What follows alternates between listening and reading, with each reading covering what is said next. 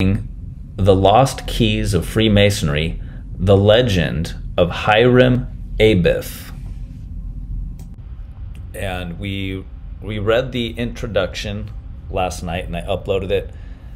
This next part is entitled The Emerald Tablet of Hermes, and then in parentheses it says Tabula Smaragdina.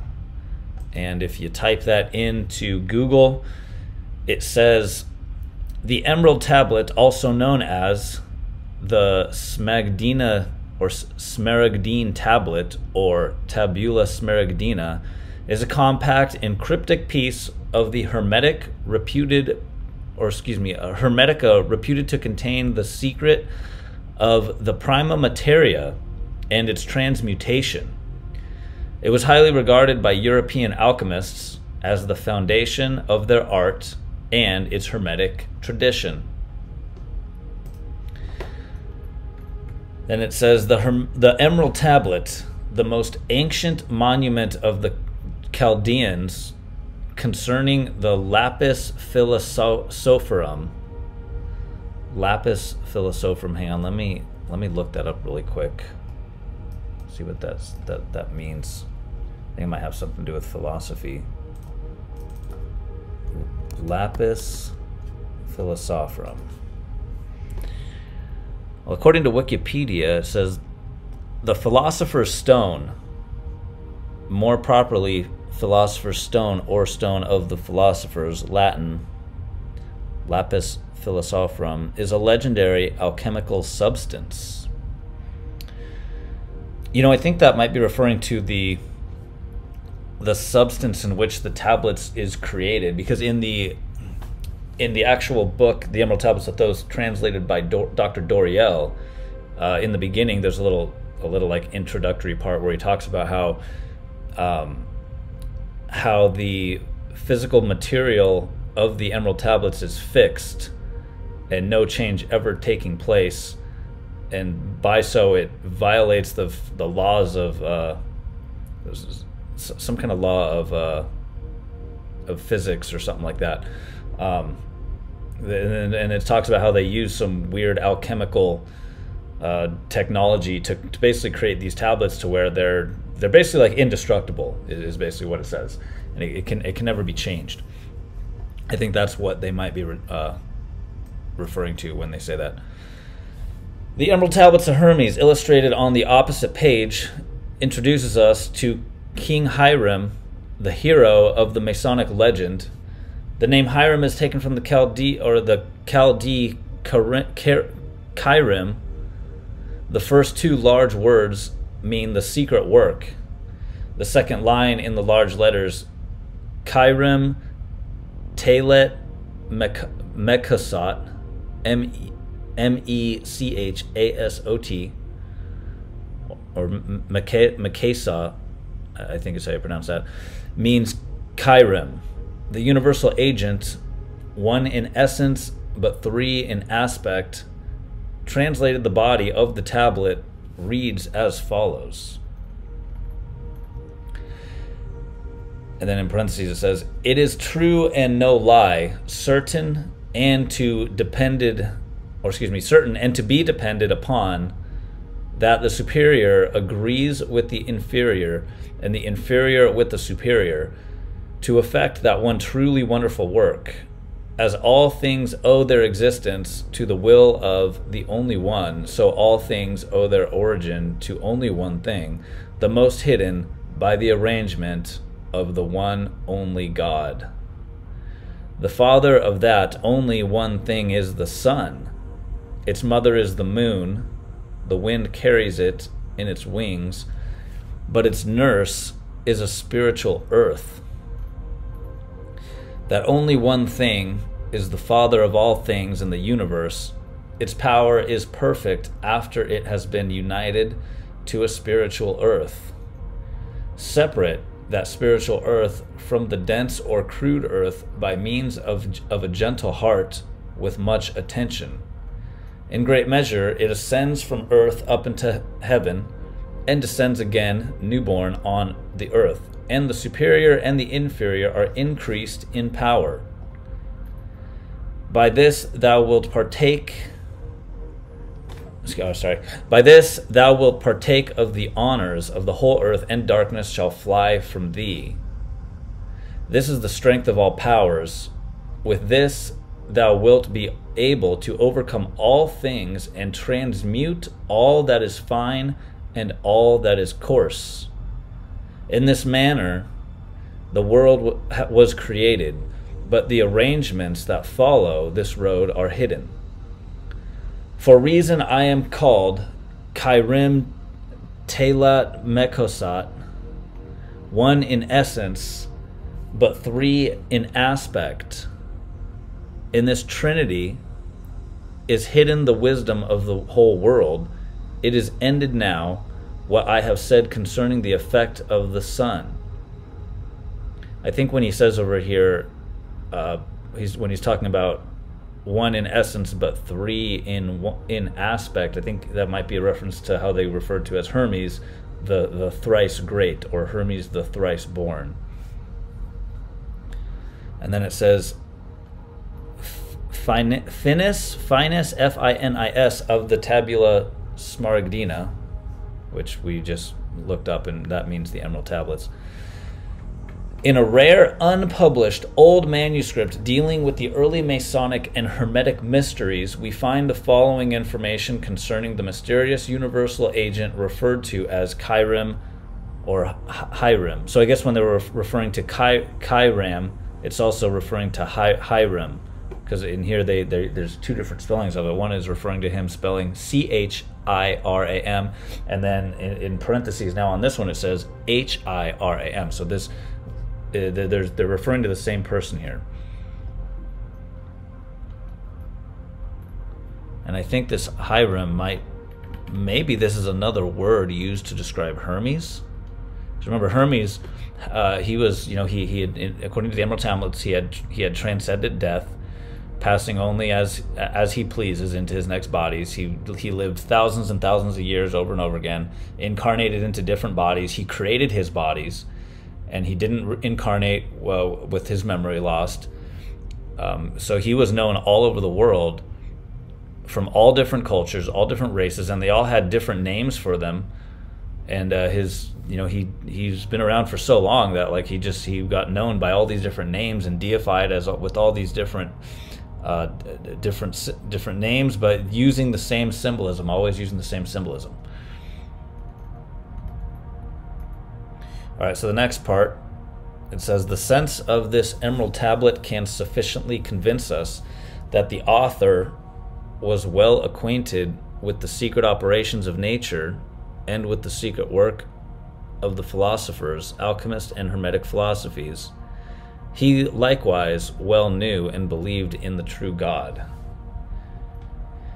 It, it has been believed since several ages that the, the Cham, C H A M, one of the sons of Noah, is the author of this monument of antiquity, a very ancient author whose name is not known, who lived several centuries before Christ, mentioned this tablet and says that he has seen it in Egypt at the courts, that it was a precious stone, an emerald, whereon these characters were, were represented in bas relief, not engraved.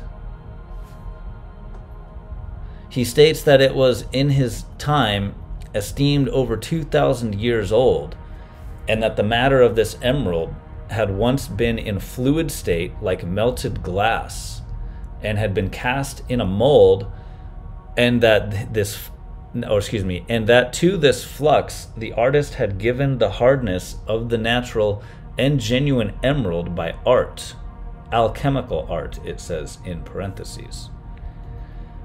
The Canaanites were called the Phoenicians by the Greeks, who have told us they had Hermes for one of their kings there is a great relation between Kerim and Hermes. Okay, so I guess Hiram or Kairim isn't Hermes, but they have a they're they're in some kind of relation or partners, or maybe Hiram was one of his um, one of his initiates. Kairim is a word composed of of three words denoting the universal spirit, the essence whereof the whole creation does consist, and the object of Chaldean, Egyptian, and genuine natural philosophy according to its inward principles and properties.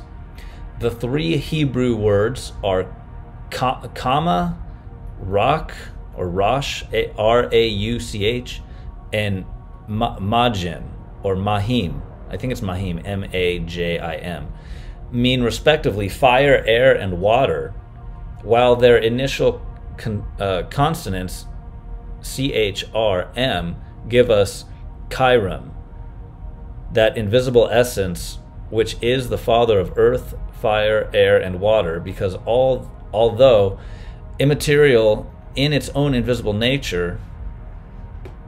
Oh, sorry. Let me let me let me do that one again. Okay, so while their initial con- consonants C H R M give us Kairam, that invisible essence which is the father of earth, fire, air, and water, because although immaterial in its own invisible nature as the unmoved and electrical fire, when moved, it becomes light and visible, and when collected and agitated, becomes heat and visible and tangible fire, and when it associates with humidity, it becomes material. The word kairam has been metamorph, uh, metamorphosed or metamorphosed into Hermes and also into Herman, and the translators of the Bible have made Chiram by changing Chet, C H E T, into he. Both of these Hebrew words, or bo- both of these Hebrew word signs being very similar. In the old word hermaphrodite, a word invented by the philosophers, we find Hermes changed to Herm, signifying Chiron, or the universal agent, and Aphrodite, the passive principle of humidity, who is also called Venus, and is said to have been pronounced and generated by the sea.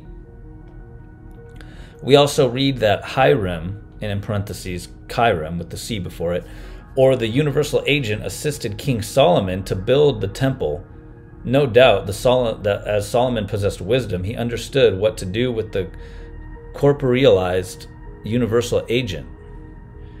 The Talmud of the Jews says that King Solomon built the temple by, assist, by assistance of Shamir. Now, this word signifies the sun as a large machine which is perpetually collecting the om- omnipresent surrounding electrical fire of Spiritus Mundi and sends it constantly to the excuse me and sends it constantly to us in the planets in a visible manner called light. The electrical flame corporealized let me let me look up that word really quick hang on. Corporealized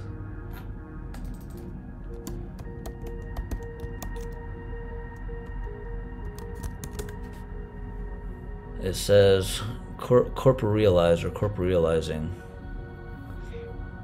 Third person singular, simple present, corporealizes present uh, participle, corporealizing.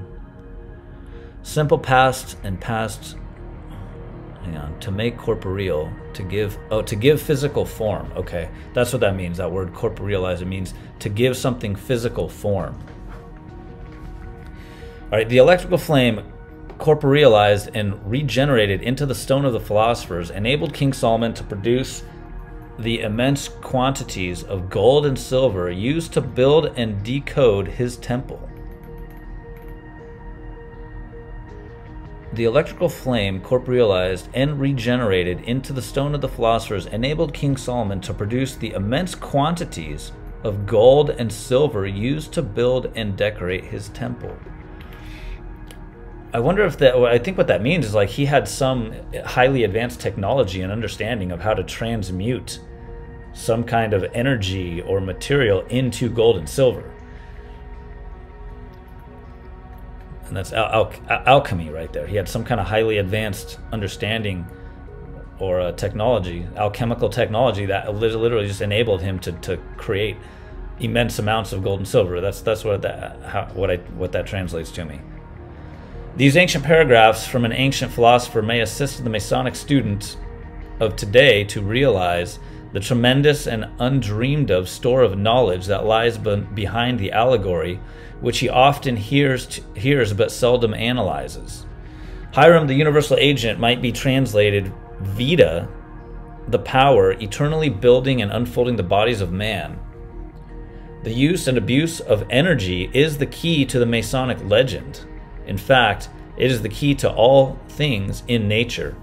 And Hiram, as the triple energy, or excuse me, and Hiram as the triple energy, one in source but three in aspect, can also be called either the unknown hypothetical element which carries the impulses of the gods through the macrocosmic nervous system of the infinite. Wow, that was a crazy, profound statement. So, so okay, so maybe Hiram is not necessarily a, a man or a, or a human. It's some kind of like some kind of energetic construct built into the universe that can be harnessed and wielded. Let's read that again. And Hiram, as the triple energy, one in source but three in aspect, can almost be called ether. Because remember, ether is like the, the that energetic field that connects all things in the universe. The unknown hypothetical element which carries the impulses of the gods through the macrocosmic nervous system of the infinite. That's heavy stuff. Hermes or Mercury, because remember, the, Mercury was what the Romans called him. So Hermes or Mercury was the messenger of the gods, and ether carries impulses upon its wings. The solving of the mystery of ether, or if you prefer to call it such, vibrant space, is the great problem of masonry. You know, when they're talking about ether, and the, the fabric of the universe. This is this is what I think there is also being referred to as today as as zero point energy. And th- this is what I believe is used in the secret space programs and the anti gravity and the free energy technology that Nikola Tesla was was tapping into. I believe that right now this is exactly what they're talking about. They're talking about uh, the free energy technology that Nikola Tesla was tapping into. They're, they're talking about the, the the zero point energy that's that's been reverse engineered and is used in the secret space programs. That's that's what I'm pretty sure they're talking about right here. This ether as a hypothetical medium brings energy to the three bodies of thought, emotion, and action. And in this way, Chirim, the one in essence, becomes three in aspect mental, emotional, and vital. So this ether that they're tapping into, like this can this is I think this also might be, you know, like like some kind of conscious energy that we're all connected to that is somehow rend, eh, part of the whole manifestation of this reality. And this energy can be tapped into and transmuted and used to materialize whatever we want. Back to that word, corporealize, to make something material.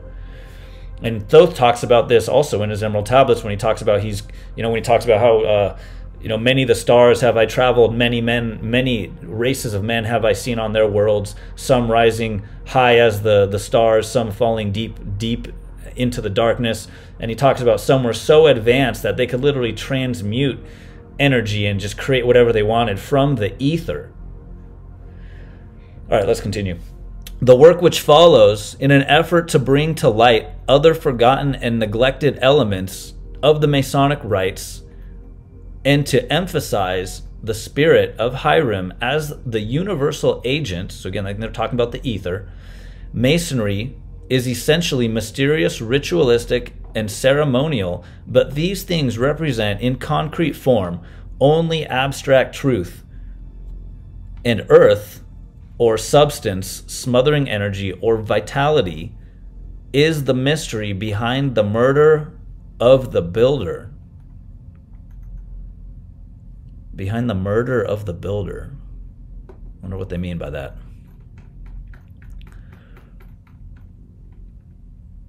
All right, the, I get. I think that was the end of that part. So there, there's another title now in the next part, and it just says text.